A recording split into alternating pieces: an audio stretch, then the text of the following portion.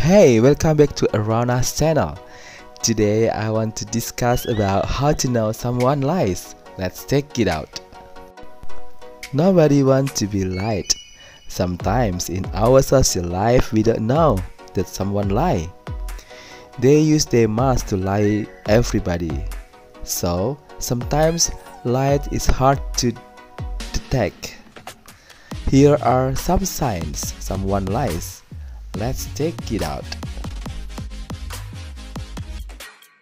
Number 1. A change in speech pattern. Someone who lies usually changes their speech pattern. A person's voice or mannerism of speaking may change when they tell a lie. Number 2. Not saying enough.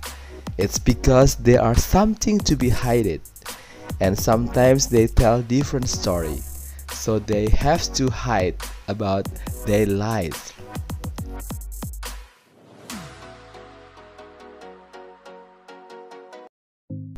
Number 3. Directions of their eyes.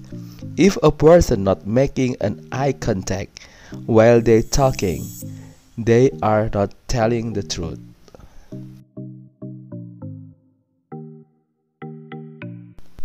Number 4. Covering their mouth or eyes. Many people want to cover up lie or hide from their reactions to it, so they are cover their mouth or eyes.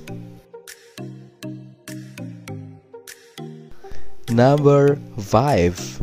Grooming behavior, such as playing with hair, because sometimes they want to cover their lies, so they do something groomy. Number 6. Repeating questions before answering. They need a moment to create lies, so they tend to repeat questions before answer.